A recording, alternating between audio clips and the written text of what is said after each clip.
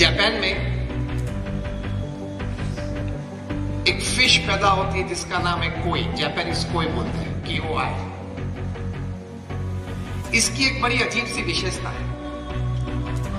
जब वो पैदा होती है, तब उसकी साइज़ एक या डेढ़ इंच होती है। अगर वे पैदा होने के बाद उसको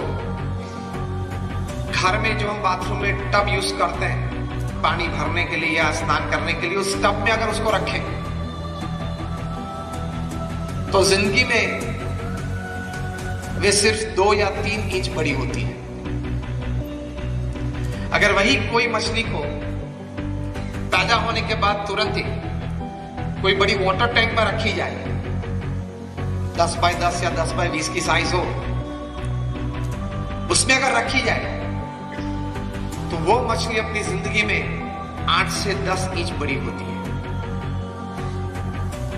वही जापानीज कोई मछली को, जो पैदा होने के वक्त एक या डेढ़ इंच की थी, उसको अगर बड़ा तालाब हो, उसमें रखा जाए इन लेक तो अपनी ज़िंदगी में उसकी साइज़ बड़ी होते हुए दो तीन फीट बढ़ती है। कई दशकों तक वैज्ञानिकों के मन में यह रहा कि how with the same gene and the same DNA genetic वही है डीएनए भी वही है। तो वही जीन्स या वही डीएनए है तो भी ये मछली कोई दो तीन इंच बड़ी होती है अपने जीवन में, कोई है तो आठ दस इंच बड़ी होती है, कोई है तो दो तीन फीट बड़ी हो जाती है। बहुत संशोधन किया उसके बाद एक कंक्लूजन रिपोर्ट तैयार हुआ। और कंक्लूजन रिपोर्ट में यह लिखा था कि the growth of this fish depends upon its acceptations of the limitations for growth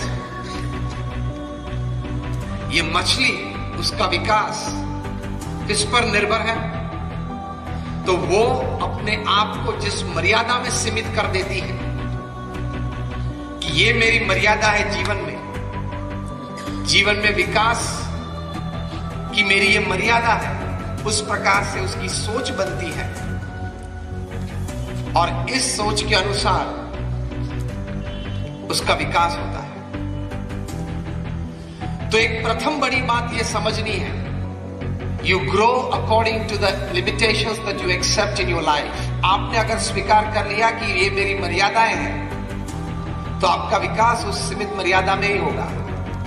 अगर आपने अपने विचार से एक बात जीवन में तय कर ली कि मेरा विकास अमर्यादित हो सकता है। If great people have grown I can also grow in life जो भी महापुरुष इस पृथ्वी में हैं, अपने व्यक्तिगत क्षेत्र में, उन्होंने बहुत, अगर हम कह सके तो पूर्ण विकास किया है तो मैं भी कर सकता हूँ I can also do God is not partial तो प्रथम यह विचार स्पष्ट करना है। कि मैं जितना चाहूँ उतना मेरा विकास